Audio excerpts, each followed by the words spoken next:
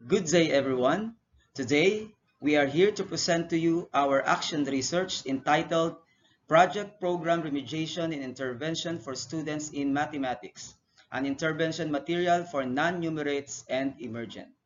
I am Mr. Maximino M. Garcia Jr., together with my co-researchers, Mr. Paul Jan R. de las Alas and Mrs. Mary Grace G. Garcia. The significance of numeracy cannot be overstated as it empowers individuals to confidently and efficiently use mathematical concepts to meet the demands of daily life.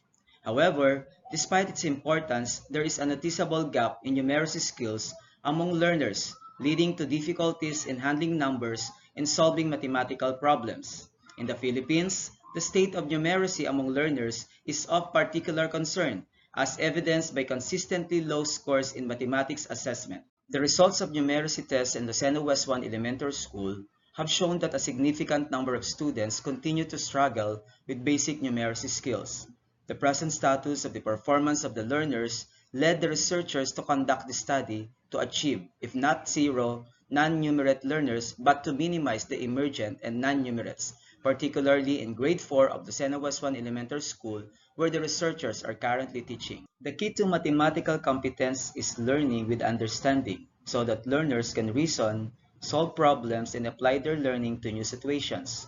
Witzel et al. of 2016 in their book entitled Teaching Elementary Mathematics to Struggling Learners pointed out that pupils need to be computationally fluent to carry out mathematical procedures flexibly, accurately, efficiently, and appropriately.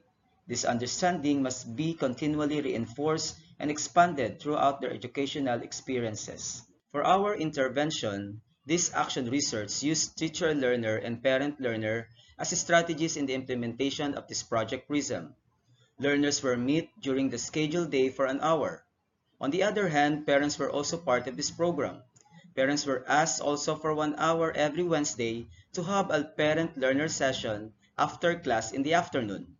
For monitoring purposes and conduct of sessions, the researchers had their group chat intended only for parents and learners under this program. Through Messenger Room or Google Meet, the researchers facilitated a group learning sessions. In this program, teachers use simple activities and materials developed by math teachers focusing on basic operations. Since they are grade 4, the materials and activities focus on the application of multiplication and division. For our sub-problems, this action research project conducted within the grade 4 population of the Lucena West 1 Elementary School seeks to address numeracy gaps through Project PRISM, Program Remediation and Intervention of Students in Mathematics. The study aims to achieve the following objectives.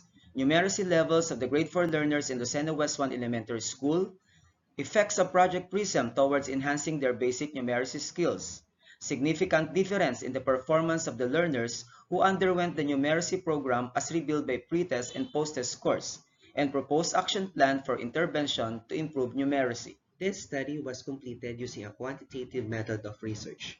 40 students participated in this study based on the results of the numeracy level test using the various exercises and techniques employed by the researchers. Weighted arithmetic mean and t-test dependent were employed to treat the data statistically. For the results of our study, the table shows 33 emergent and 7 non-numerate learners in grade 4, even though the number of non-numerates was not alarming with reference to the number of enrollees in grade 4, the researchers still need to eliminate the emergent and non-numerate numbers and become average numerates. Moreover, this table shows the effects of Project PRISM in enhancing the numeracy basic skills of grade 4 learners who underwent the numeracy remediation and intervention program. The responses of the participants further validated the significant improvement of the learners in terms of the effectiveness of the program. Specifically, the learners strongly agree that Project PRISM helps them improve their numeracy basic skills, helps them in performing addition, subtraction, multiplication, and division with correct results and feel more confident to solve word problems involving any of the four fundamental operations with a weighted arithmetic mean of 3.83, 3.45, and 3.34 respectively, which shows that the program is very much effective. Generally, based on the results, the numeracy program was found effective. All learners agree that because of the numeracy program, they become more confident in performing those operations that involve those skills.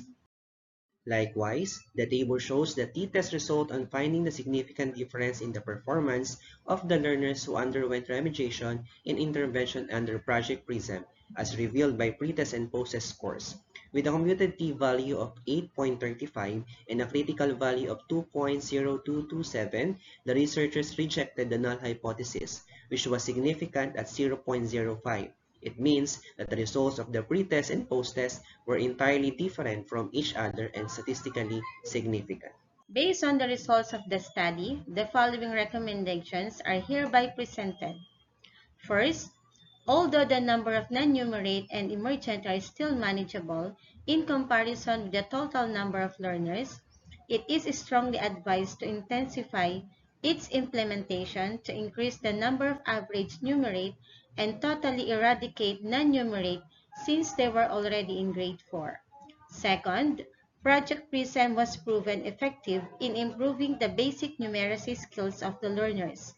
It is suggested to include other content areas in mathematics. Third, conduct school-wide study to know the extent of its effectiveness. And fourth, is strengthen the monitoring and evaluation of the project based on what are stated in the action plan. And for the plan for research utilization, first, to be utilized in the school in all grade levels. Second, to be shared in other schools in the West District. So let me end our presentation by this quotation. Don't let learning lead to knowledge. Let your learning lead to action. By Jim Rohn. That's all. Thank you.